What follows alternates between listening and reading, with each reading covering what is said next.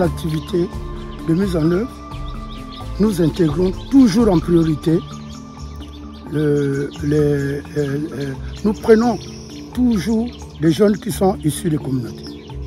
Nous avons réalisé des travaux d'inventaire euh, de faute. Nous avons utilisé les observateurs, les guides, les bousseliers revenant du village, mais à partir d'une formation subie.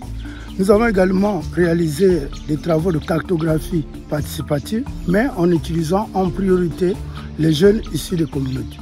Et ça, ça a aussi suscité une certaine acceptation des populations vis-à-vis -vis de nos activités.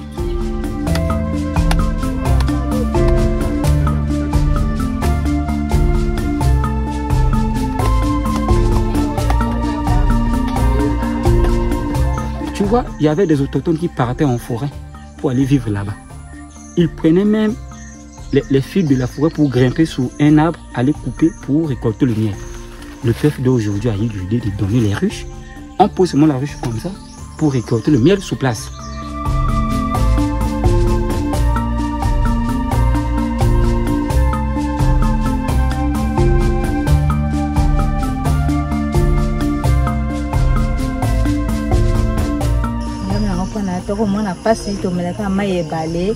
Sikoyo bakopesa mai ya bien tokomomela mai ya propre ele mabume swa tokomomela mai ya bien lokola baninga lokola mboka ya baninga. Biso mpe tokomona mai ya forage.